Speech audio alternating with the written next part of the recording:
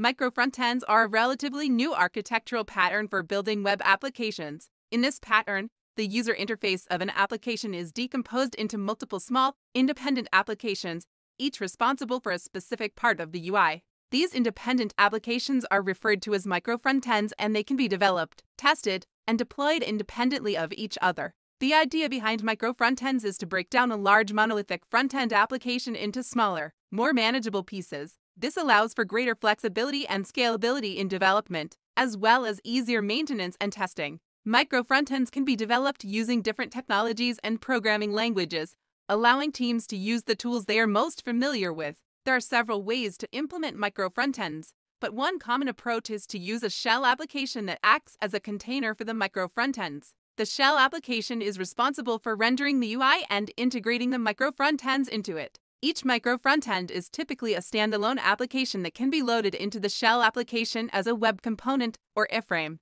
The shell application communicates with the micro frontends using API or events. To get started with building micro frontends, you'll need to first identify the different parts of your application that can be broken down into independent micro frontends. Once you have identified these parts, you can start developing the micro frontends using your preferred technology stack. You'll also need to create a shell application that can integrate the micro frontends into the UI. There are several benefits to using micro frontends in your application development, including greater flexibility and scalability in development, easier maintenance and testing, ability to use different technologies and programming languages, faster time to market for new features and updates, improved user experience through modularization and decoupling of the UI. However, there are also some challenges to consider when using micro frontends, such as increased complexity in development and deployment, potential performance issues due to multiple requests to load the micro frontends, difficulty in maintaining consistency and coherence in the UI across different micro frontends.